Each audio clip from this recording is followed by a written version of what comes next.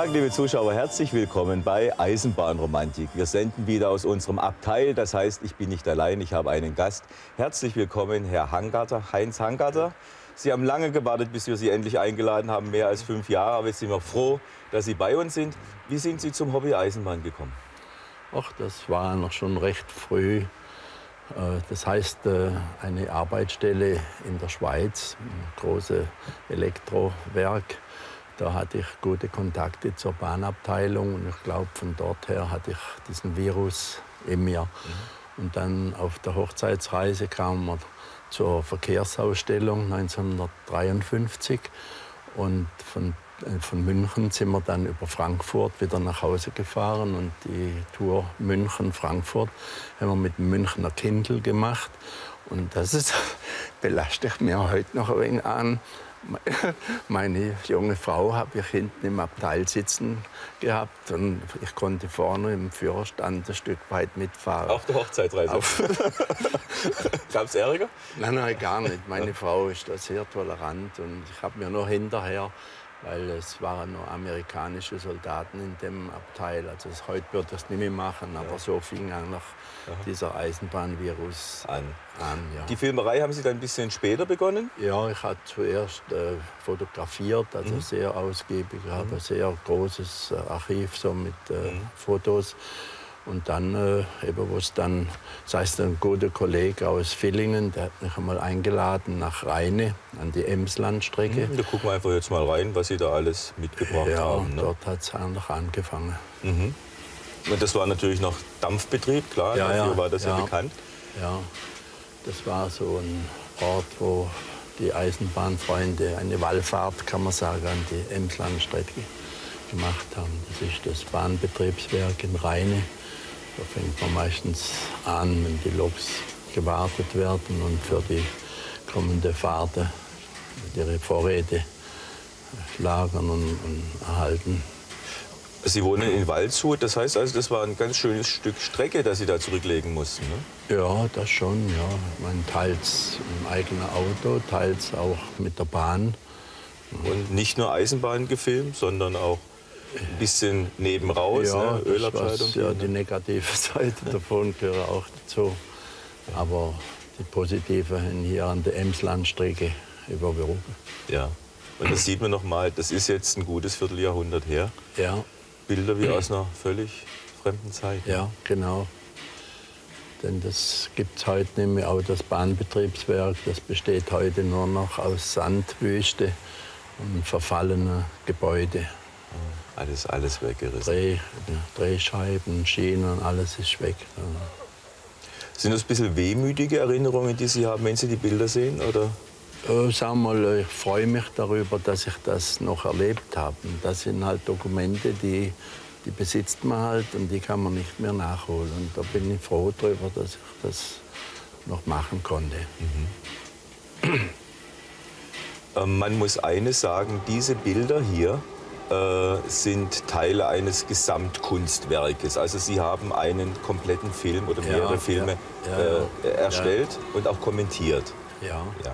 Mit Ton und Musik und Malung und so weiter. Ne? Und wir haben das jetzt ein bisschen auseinandergerissen, äh, nicht um Sie irgendwie zu schädigen, sondern nein, nein. es ist einfach schöner, wenn Sie dann Ihre äh, Empfindungen uns erzählen und wie das damals das war. Ging auch viel Filmen. zu lang, gell? Also Wie lange ist der Film? geht eine Stunde. Eine Stunde. Ja, ja. Haben Sie den Film zwischendrin mal wieder angeschaut? Also jetzt ja, fast 30 Jahre. Ich muss ja? auch oft äh, für Kollegen Kopie machen. Dort konnte auch in Waldshut schon mal in der Stadthalle mhm. äh, Filme zeigen. Mhm. Die noch jetzt neuerdings auch so eine Vereinigung von DB-Bedienstete, teils Rentner, die haben mich da eingeladen, dass ich als einen Film zeige. Und das mhm. macht mir auch viel Spaß. Mhm. Ist auch wunderschön, was Sie gedreht haben. Wir gucken gleich mal ja, weiter. Unser nächster Teil. Drüber, ja. Das ja, das glaube ich auch völlig zu Recht. Also der nächste Teil, den wir jetzt sehen, äh, wobei ich die Qualität einfach mal herausstellen muss, es ist äh, 8 mm Film. Das sind gell? super 8 Film, ja. Wenn man denkt, das sind 3 mal 4,5 mm. Mhm. Und so groß vergrößert. Also ich bin selber erstaunt. Sieht ein bisschen aus wie Modelleisenbahn ja, hier, gell? Ja. Haben Sie viel Zeit an der Strecke verbracht? Ja, ja. ja, ja. Und Sie waren nicht alleine? Also man sieht ja, das hier war die erste Tour da. Die erste Tour. Ja, wo ich dann mit einem Kollegen darauf gefahren bin. Mhm. Und Sie haben den Fahrplan damals im Kopf gehabt oder wie wussten Sie, wann Züge nein, kamen? Oder kamen da so viele Züge? Dass ja, ja, da haben Sie Ihr Stativ vor sich und Querschiene oben drauf und die, die äh, Contaflex, da, das war so 6x6. Und ein bisschen Blödsinn hat man auch noch im Sinn gehabt, Ja, oder? ja, ja, die, die Kühe, die haben sich da auch gefreut, dass sie mal ein wenig Unterhaltung gekriegt haben. Also Sie haben gefilmt und fotografiert? Und fotografiert und Ton aufgenommen. Und den Ton auch noch? Ja, man hat also Füße und Hände alles im Gebrauch gehabt. Aha. Man hat sich halt Markierung gemacht, wo man muss fürs Foto auslösen. Und man, für die Kamera war es klar, dass man die äh, von Anfang an und dann. Hier ist es klar, man, sieht, man ist an der Ems, Emsland. An der Ems, ne? ja. Ja, damals war es sehr unterhaltend an dieser Strecke. Das sind ja dauernd, den ganzen Tag durch sind die Erzzüge mit über 4000 Tonnen ja. Gewicht gefahren und dann war auch der Personenverkehr mit der D- und Eilzüge und Aha. dann eben mit der 012 dann teils selber mitgefahren, teils von der Strecke aus. Aha. War schon sehr interessant. Ähm, wir haben jetzt ein längeres Stück zusammengefasst, knapp sieben Minuten. Und da geht mhm. es los in Rheine und wir fahren dann Richtung Norddeich-Mohle. Ja. Und da gucken wir uns jetzt mal an, wie das alles so ablief. Ja. Ein wunderschönes Bild, mit dem wir da anfangen. Ne? Ja, das ist also jetzt äh, sinnbildlich. Äh, die Lok kommt aus dem Bahnbetriebswerk, es war ein 43er, aber soll, macht ja die 012 genauso. Ja. Und da kommt jetzt der D-Zug aus Münster mit der E-Lok angefahren. Die wird hier abgekuppelt, weil damals war die elektrische Fahrleitung nur bis Rheine. Und jetzt kommt die 012 dran und übernimmt diesen Zug dann bis Norddeich-Mohle. Und dort sind dann die Reisenden, können dann auf die Schiffe da zu den nordfriesischen Inseln, da wenn sie Urlaubfahrten machen. Äh, wie viele Tage haben Sie jetzt dort äh, gefilmt für so eine Geschichte? Ach, je. haben mehrere Positionen gehabt, bis sie die Lok im Bild hatten und bis sie ankuppeln. Also das ging ja, nicht an einem braucht, Tag. Ne? Nein, nein, man braucht. Also das ist eine sehr zeitaufwendige Sache. Da. Also, ich würde mal sagen, also wenn ich alles zusammenfassen würde. Entschuldigung, wie haben Sie das gemacht?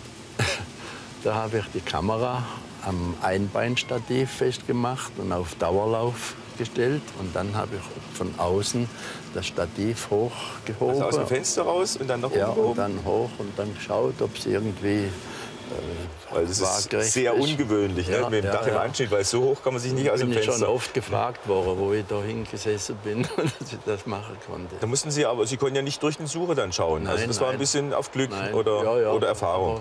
Aber hat sich also doch... Hat sich rentiert? Ja, ja, hat sich rentiert doch. Und da war ja richtig noch Dampfbetrieb in dieser da Zeit, gell? Ja, ja, fast ausschließlich. Ab und zu mal eine V200, aber verhältnismäßig selten. Und dann überwiegend halt die 012. Und wenn die so richtig in Fahrt war, die, die brüllt ja förmlich. Also da geht einem das Herz auf. Ja, ja. ja. Und hier geht es über eine Brücke, die war ja. öfters bei, oder die wird öfters ja, ja. mal im Bild sein bei Ihnen. Ja, es gibt noch mal eine oberhalb da, die Ems da. Ich meine, das sind die Bauart ist eigentlich überall dieselbe. So.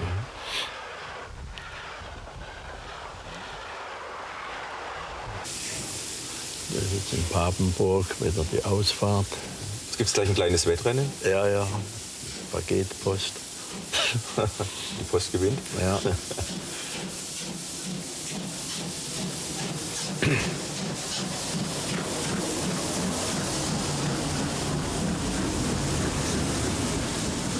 Das sind eindrucksvolle Bilder. War Ihnen das damals klar, dass Sie da Dokumente schaffen oder war das einfach, äh, einfach nur die Lust am Hobby? Ah, nein, man, hätte, man wollte schon noch was konservieren für sich. Gell? Mhm. Aber äh, sagen wir, dass es heute einen gewissen Wert beinhaltet, ich meine, das wird einem erst jetzt bewusst, wo man weiß, es gibt es nicht mehr. Mhm. Und das ist auch nicht mehr wiederholbar? Kann man sagen. Nein. Besonders weil hier ja noch die Fahrleitung fehlt. Ne? Das ist alles noch so wie damals.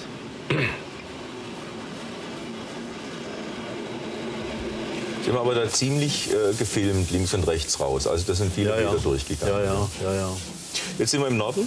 Ja, das ist jetzt in Norddeich und der Zug fährt jetzt auf die Mole. Also Norddeich Mole ist die Endstation. Und von hier steigen dann die Leute auf die Schiffe. Und Sie haben mit dem Wettergott auch ein Ja, Abkommen der hat immer ja mitgespielt. Also meistens jedenfalls. War zwar auch in den Wintermonaten oft oben.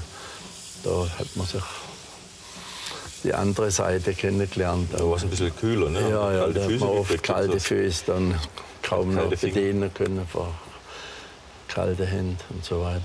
Und Sie haben dann gefilmt Ja, und fotografiert. ja, ja. ja, Ja. ja. Was war das dann für ein Format? War das dann Dias Ich oder? habe 6x6 schwarz-weiß und äh, Kleinbild. Mhm. Beide Kamerasatz dabei. Ich meine jetzt da nicht gerade, wenn so Szenen ist. Da hat man sich auf die Szene nur, konzentriert. Ja, ja, ja, ja. Und der Zug setzt jetzt wieder zurück. Der sitzt jetzt zurück und dann wird die Lok abgekuppelt, geht auf die Drehscheibe und wird gedreht und kommt dann wieder an den Zug für die Rückfahrt. Das heißt, Sie haben einen Tag dann in Norddeich verbracht und sind dann abends wieder zurück. Ja, Oder? Oder haben Sie Urlaub gemacht? Ja, also es waren schon Urlaubstage, wo man da verbracht hat. Also Sie ja. sind dann, dann oben geblieben, dann für ein paar Tage. Ja, für, ja, ja, mal so zwei, drei Tage. Ne, so, ja.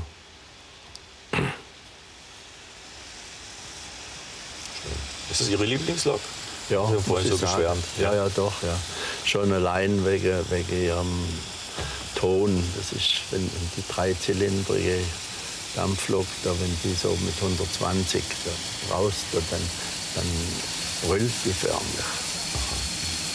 So, jetzt ist die Ja, Lok dran gesetzt. Ja, Der Tag ja. geht langsam seinem Ende entgegen. ja, Und dann geht es wieder zurück. ja. Und Sie haben einen privilegierten Platz zum Filmen ja da, auf dem Führerstand. Wie haben Sie ja. das gemacht? Ging das Ach einfach Gott, so? man fragt halt und, und äh, die Leute sind Nett gewesen. Doch, doch, allgemein. Ich habe noch bisher, ich glaube, ich habe noch bei keinem Lokführer angefragt und dass er Nein sagte. Gell. Man, man muss halt wissen, wie man sich zu verhalten hat, ne? die Sicherheit und alles gewährleistet ist. Aber es sind doch irgendwie interessante Perspektiven, wo man so aus der Lok... Schöne Bilder. Ne? So. Man wundert sich eigentlich, was der Film leisten kann, dieser, Ja, ja, dieses das, Format. also ne? das wundert mich sowieso. Die Winzigkeit da von dem kleinen Format ne? und dann dann so das weit Licht. vergrößert. Ja. Und dann die Lichtverhältnisse. ja, das auch noch. Schön. Ne? Das ist toll, was Sie da gemacht Da haben. hat der, Das Belichtungsmesser schon lange gesagt, Feierabend, ne, und rot geleuchtet und hat trotzdem drauf denkt, na gut, sowieso Feierabend jetzt. Ne. Man Aber ich finde, es hat doch Man gelohnt. sieht es doch gell. Ist schön. Ja, ja, Das ist absolut toll. Ja, Das ist jetzt so eine, also das ist ein anderer Zug, eine andere Lok, die kommt, aber die passt wunderbar vom Licht her. so Ne? Als Abschied. Als Abschied, ja. Na, wir bleiben noch ein bisschen zusammen. Ja, ja. Das war der Abschied von dieser Szene. Äh, wir haben darüber gesprochen, Sie haben fotografiert und Sie haben unser, uns Ihr Fotoalbum mitgebracht in Teilen. Gell? Und wir Ja, ziehen das einfach mal her ein, und, ein, Teil von und, und äh, wir, wir zeigen da mal, das haben Sie auch gefilmt, das zeigen wir auch noch. Also der Ja. Trans-Europa-Express, VT. ja, der kam als Äh. Alpensee-Express. Mhm, ja, Äh, Teile. ne? Hamburg, äh, Oberstdorf und Dortmund, Seebruck. Und äh, Seebruck ist ja in der Nähe von Waldshut. Ne? Und, Und da sind Sie dann immer mal hin. Ne? ja, ja. So, hier haben wir dann Das auch ist in jemand, der, ja, der, der bald nicht mehr Abschied sein wird, nicht? Ja, Die 03. E03. Das ist ein tolles Bild. Ne? So. Mhm. Das ist bei Ihnen in der Nähe, oder? Ja, also die Rheintalstrecke. Ne? Da Und das ist halt nicht weit von Ihnen weg, oder? auch schon 60, 70. Also kann, man, kann man mal geschwind hinfahren zum Ja, ja, Filmen oder zum, schon, zum ja. Fotografieren. Ja. Ja. Das ist jetzt was ganz Besonderes. Ja, das ist schon etliche Zeit Das zurück. ist sehr, sehr lange her, der Komet, ja, ne? der ja, moderne Nachtzug Ja. aus den 50er das, Jahren. ja, ja. Haben wir noch ein Bild? Ja, ja da ist er bei Steinsäckingen. Und dann haben wir noch, ich kann, wir können jetzt nicht alles zeigen. Ja, ja, die, die Dampfzeit natürlich. Das ist schön- 39er schön da in dokumentiert, Villingen. Ne? Ja. Und was haben wir hier noch? Oh ja, gut. Das war der, der Sturm da, der. Und nicht der Lothar, der doch, Vorgänger Der, der Lothar, der doch, Lothar? der Ja. Lothar, ja. Ja. Der hat doch einen Baum über die Schiene gelegt und dann ist sie mit dem Kleber Express war die unterwegs wieder nach München. Ja. Und der Lokführer konnte nicht mehr abbremsen. Und dann ist passiert. Ja. ja. Kleber Express, das Stichwort, äh, machen wir irgendwann im kommenden Jahr einen Film über diesen, diesen Zug. Und das ist jetzt so. Äh, da war, ja. Ich war ja Heizer, ich habe die Heizerprüfung, DB Heizerprüfung, ja. ja. Ich habe dreieinhalb Jahre geheizt auf der Museumsbahn, äh, also Wutachtalbahn, ja. Sauschwänzlebahn. Da sind Sie auch mitgefahren? Ja, ja, ja. Und das ist, da bin ich und das ist da der Lokführer, mit dem bin ich am liebsten gefahren. Aha. Ja. Kindervater, der Kaiser. Aha, also sind Sie also richtig aktiv auch gewesen? Ja, ja, wenn der kam und ich musste ja schon früher da sein, weil man erst die Lok entschlacken musste und Rost sauber machen und mhm. anheizen und so. Und äh, Dampfdruck musste auch schon sichtbar sein. Und wenn er kam, dann fragte er als äh, der Heinz, heute IC. Sie sind ein, ein richtiger Fan, kann man das einfach so ja, sagen? Ja, ja. Man, sagt ja, es ist ein Virus. Ja, wenn er mal drin ist, ist er drin, gell? der geht nicht mehr raus. Nee, ja. Nee. Und wie, Sie haben äh, einen Sohn, der ein bisschen in die Fußstapfen tritt oder eher nicht ganz so? Ich meine, er hat natürlich heute seine eigenen Hobbys. Da. Er ist ein sehr guter Musiker. Mhm. Und, äh, aber früher, wo er noch kleiner war? Da ist er mit. War, ja, ja, der ist schon gern mit. Und, ja, ich war auch froh, dass er nicht allein war und ja, so. Man hat man ein bisschen Zeit mit dem, ja, ja. Kerl zusammen. Aber er kann sich trotz allem auch noch begeistern. Ja. Das ist jetzt angesprochen, der Sohnemann. Ah, ja, jawohl, ja. Wie, wie heißt er? Patrick. Patrick. Damals war er sieben, heute ist er Ende 30 ja, wahrscheinlich. Ja, 37. Toll. Und Sie haben also auch nicht nur, habe ich vorhin schon gesagt, nicht nur Züge gefilmt, sondern auch so ein bisschen ja, es muss Leben ja aus. Mal ne? aufgelockert werden. Ne? Das hat man auch gespürt, ja. dass das den Filmen dann gut tut, wenn es ein bisschen aufgelockert ist. Ne? Und jetzt hier, das sind ja so die bekannten, wunderbaren Bilder. Nicht? Vorspann und ein X-Wagen hinten dran. Ja, ja, Haben Sie mal die Wagen gezählt oder? Nö, wie denn? Sie haben ja fotografiert und gefilmt. Ja, nein, aber ich, ich hat es schon mal gewusst, aber ich werde jetzt nichts behaupten. Ich weiß nur, dass also zum Teil über 4000 Tonnen Sonne. Gewicht war. Ja. Mhm.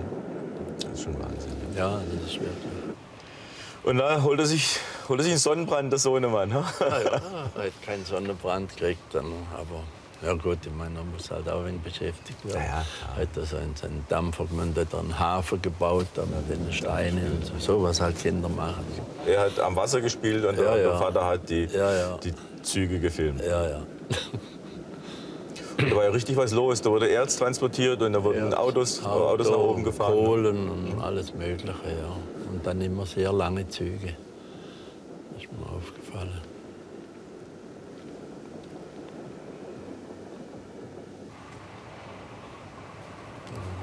Triebwagen zwischendurch. Und dann dauert es wieder? Ja, ja. Das kommt, glaube ich, wieder ein Erzzug. Ja. Das sieht man schon. Ne?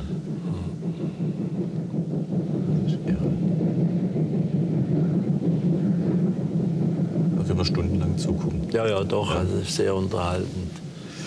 Ähm, wir springen jetzt mal, wenn der Film zu Ende ist, in Ihre Heimat bzw. in Ihre nähere Umgebung. Da ist der Schwarzwald und da ist die ja. Schwarzwaldbahn. Jawohl, ja. Und zu der Schwarzwaldbahn haben Sie ein ganz enges Verhältnis. Ja, ich bin äh, aus der Firma in der Schweiz, also wo ich dort war, bin ich nach St. Georgen übersiedelt, an der Schwarzwaldbahn. Und da kommt man ja nicht drum herum. Die ist ja genial gebaut mit ihren zwei Kehrschleifen und so. Und da, wir hatten immer einen Hund, einen Boxer damals immer. Und da bin ich viel gewandert und wollte dann auch die Bahn näher kennenlernen. Nur leider hat man nichts mehr bekommen. Ne? Und naja, habe ich halt fotografiert. Damals hat man noch nicht so gefilmt. Und da war eigentlich das Buch, war, da kam dann das 100-jährige Jubiläum. Mhm. Und äh, die Bundesbahn hat dann, also wo ich angefragt habe, äh, ob sie irgendwelche Unterlagen über die Bahn haben, dann hat man mir eben gesagt, ist durch Kriegseinwirkungen sei das alles verloren gegangen. Aber mhm. wenn ich mich angesprochen fühlen würde, äh, würde es sich freuen, wenn ich da was drüber machen würde. Ich, meine, ich habe damals gedacht, Leute, die Bücher schreiben und so, da gehörst nicht dazu. Aber wenn man dann mal anfängt, gell, man, Und ja, dann? Das war auch zum 100.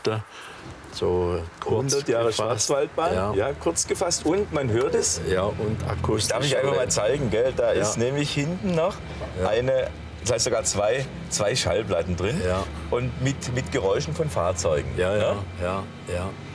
Von den verschiedenen Epochen, also Dampflok, Schienenbus. ja, das hat man dann auch schön im V200. Bild noch Ja. gehabt. Ne? Hier fährt dann irgendwann die Dampflok und das, der Ja. Schienenbus. Ne? Jawohl. Und dann hatten wir auch noch einen Güterzug und, Güterzug, und, und ja. äh, äh, einen Eilzug, noch. Ne? ja. Und da drin ist dann so beschrieben, dass wenn man jetzt sagen wir, die Schallplatte auflegt, äh, Ja. dann hört man, damals hat man ja im Tunnel noch gehupt und dann kann man genau verfolgen, wo sich Mhm. Wo- der wo Zug der gerade sich befindet, Ja. Das ist ja toll. Also diese Idee finde ich, find ich genial. Und Sie haben aber auch gefilmt und da machen wir jetzt einfach weiter. Wir springen jetzt. Das war der Pfiff jetzt. Ah ja, Jetzt springen wir in den, in den Schwarzwald und da haben Sie auch noch mal einen Dampfzug Ja, erwischt. das ne? ist die Kinzigtalbahn, Kinzigtalbahn. von Hausach nach Freudenstadt. Da ging immer noch so ein kleiner Güterzug da. Ja, man hat zu sehen, sonderlich lang war er nicht, ne? aber nein, nein, nein, aber es war meistens ein 50er dran. Jawohl, und Sie haben die auch verfolgt, das Ja. sehen wir gleich. Ne? Das ist ja der Schienenbus. Ja. ja, das ist auch Vergangenheit. Ja. Jetzt, der Schienenbus wird gejagt. Ne?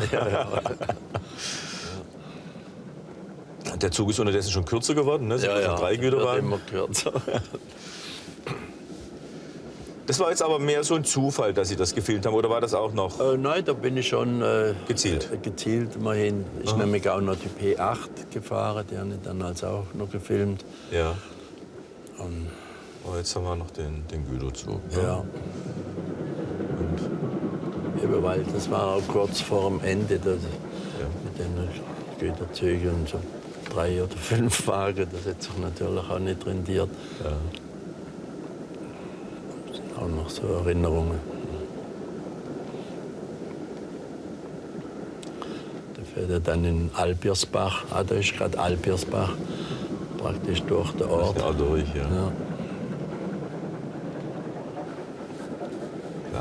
Und dann, und noch der Fotograf, der vor der Linse rumhopft. Aber das ist egal. Also ich früher habe ich das auch ein bisschen enger gesehen, aber gut, das ist halt Leben im Bild. Sowieso, Ne? Und ja, es sind ja. halt unendlich viele Fenster. Ja, ja. Und dann noch der Traktor, der noch kommt. Ne? Es ist einfach, ja. Wie gesagt, ich bin da natürlich auch ein Nostalgiker und, und mir gefällt das ganz einfach, ne? wenn man so Ah überlegt. ja, das gehört auch zum Leben. Ja, natürlich. Und dann ist schon die nächste. Das ist jetzt Schwarzwaldbahn, das ist äh, vor Hattingen. Das ist also die Steigungsstrecke zwischen Singen und Hattingen. Das ist ja der oberste Punkt dann. 2V200, also ein langer Zug. Ne? Ja, da sind die Strecke ist also teils die Schwarzwaldbahn und auch die Gäubahn.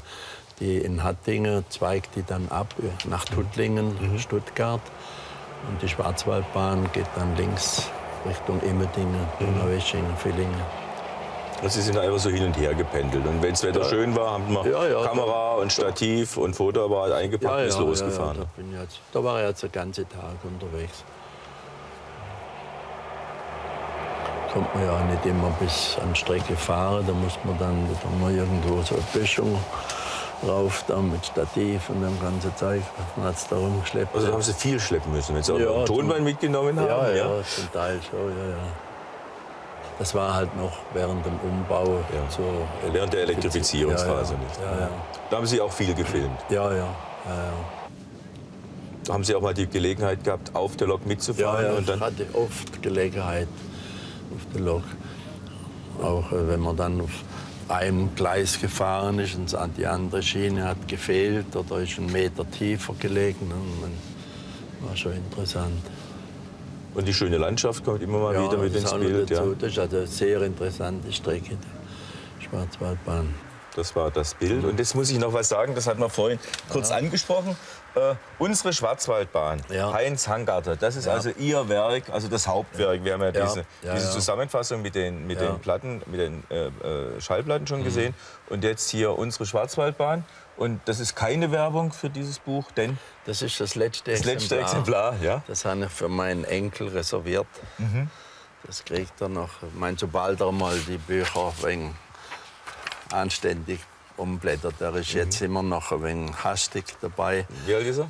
Er ist jetzt sechs. Ja, also muss noch ein bisschen. Er ist jetzt, geht schon in die Schule, Schule. gell? Ich meine, das. Also ein schönes, ein Ja. schönes äh, Doch, Geschenk. ja, ne? also, ich meine, das ist dann halt eben entstanden, weil die Bundesbahn äh, also nichts hatte und mich da irgendwie animiert hat.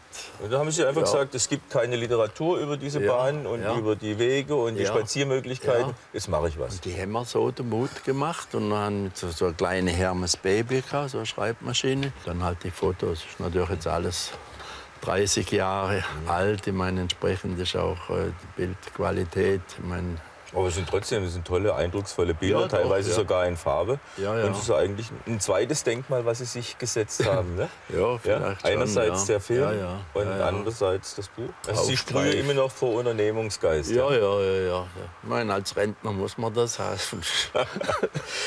Es ist schade, dass unsere Zeit schon wieder rum ist. Ja. Mit Ihnen könnte man sich Ja. ewig unterhalten, Ja. Mhm. aber äh, die Zeit geht langsam zu Ende. Herr Hangarter, die letzte Szene, unsere Schlussszene spielt in Emden und damit verabschieden wir uns beide. Da fahren jetzt fährt ein Erzzug gezogen von zwei Dampflokomotiven Mhm. richtig mit Sound davon. Herzlichen Dank fürs Kommen und allzeit gute. Fahrt wünsche ich Ihnen. Dankeschön. Vielen Dank.